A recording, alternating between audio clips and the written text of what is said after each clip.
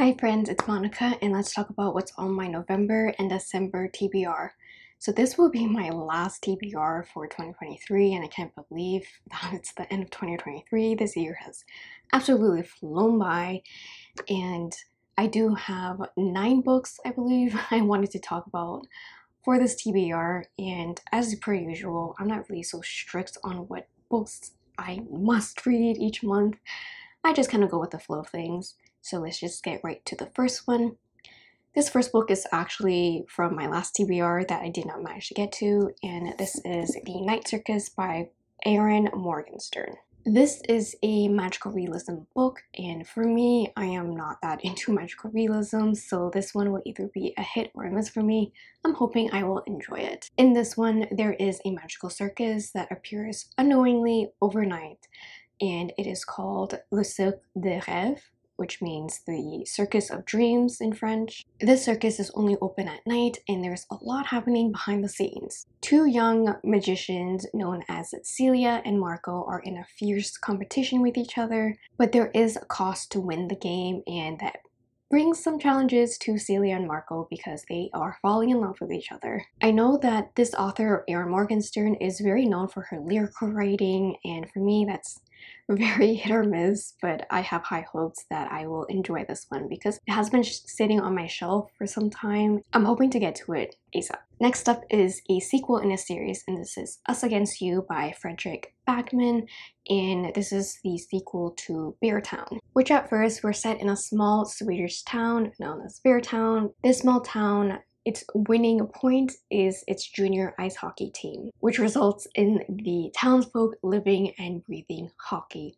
all day long. But after pivotal events in book one that really affects the townsfolk in and out, the hockey team is now being disbanded in Us Against You. With this news, it brings a heated hockey rivalry with their neighboring town, questionable pranks, and by the end of it all, there will be a dead Beartown resident. I'm so excited to see what happens next with our characters and to see what they get up to and hopefully staying out of trouble. With Fredrik Backman, his writing is really unique and he does several perspectives. There's a lot of characters and he has a really realistic tone of how he describes the going ons in people's lives and I really like that, but I'm very excited to see what happens next in this little town. Then next up on my list is a book I have been seeing floating around, and I'm talking about Tomorrow and Tomorrow and Tomorrow by Gabrielle Zevin. To be honest, I did not even know much about what this book was about when I first picked it up. I just saw the cover and it was on sale, so I picked up a copy. Reading the blurb from the back, it is about a unique love story. Sam and Sadie are our protagonists, and overnight they hit a huge success with their blockbuster video game and overnight they have gained fame and a lot of wealth.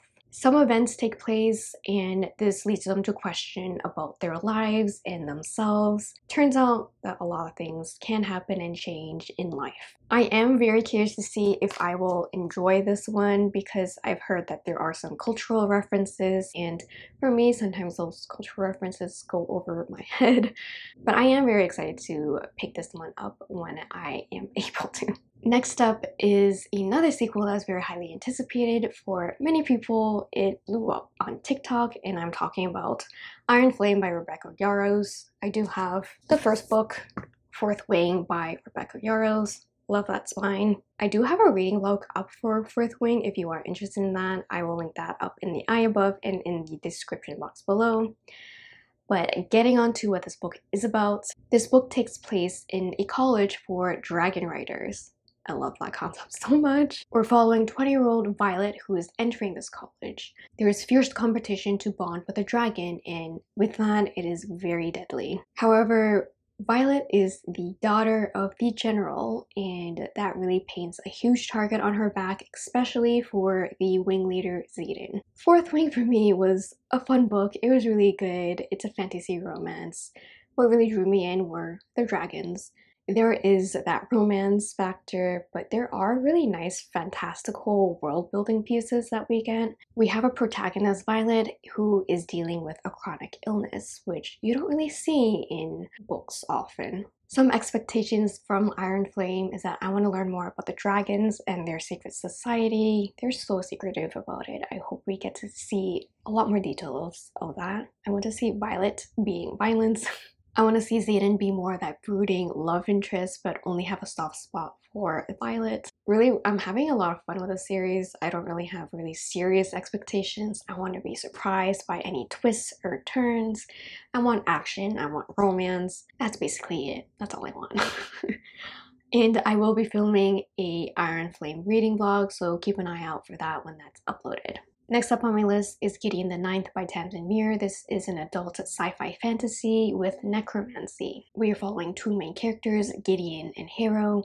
With Gideon, she is a swordswoman who was raised by nuns and she is preparing to run away from this life of servitude, but along the way she runs into her childhood nemesis, Hero. Hero is a necromancer, a bone witch, and she needs to compete in a trial with other Great House's heirs. As the winner of this competition, you can achieve immortality. But in order for Necromancer to even be awarded that, they need a sworn sword. And of course, that would be Gideon. Gideon the Ninth has been on my list for some time now, and I'm very excited to see how I like the sci-fi because it's either a hit or miss. I do think that the world will be very unique and our protagonists are going to be badass. Then for the last couple books on my TBR, they are part of my massive reread of ACOTAR and the Crescent City series by Sarah J Maas in order to prep for House of Flame and Shadow. I think that's the order. I hate these long titles, but bear with me. If you're not familiar with the ACOTAR series, but I think some of you are already quite familiar with it, we are following Feyre Archeron and she is a human hunter and one day she stumbles upon a Fey wolf and she kills it.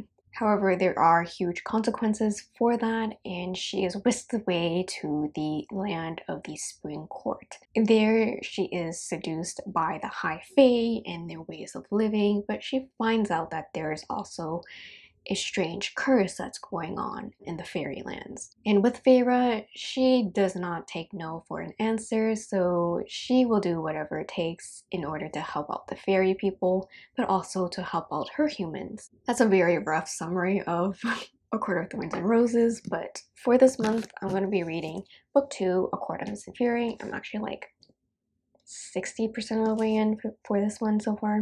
I'm going to be tackling Court of Wings and Ruin, book three. Then this novella, A Court of Frost and Starlight. And then I'm not going to go directly into book four of the ACOTAR, but I'm going to be reading um, in publication order House of Earth and Blood. This is the first book in the Crescent City series. Yes, this is all to prep for a third book in the Crescent City series. The reason why I'm reading ACOTAR for the Crescent City series is that everything's intertwined that's all I'm going to say about it because I think it's better if you just kind of go along and chug along on this huge train that are Sarah J Maas books. So far in Court of Mist and Fury, I'm having so much fun getting our reintroduction to the inner circle and all the people that I love and that we see less of one particular character. For me, I really have fun reading these types of books, especially when it's Sarah J Maas. I'm a sucker for them, but I can't help but like them. I think I would be doing some review videos on like my overall thoughts of some series from Sarah J Maas, but I do have like a should you read Sarah J Maas books video up if you're interested in that. I will link that, you know. Those are all the hopefuls for my TBR for November and December. Again, I still can't believe that we are at the end of 2023. It's been a long year also really quick year. It's weird. Anyways, I hope you all had a wonderful day and give me a huge thumbs up, hit that subscribe button down below, and don't forget to ring the bell to not miss any future uploads. And I'll see you all in my next one.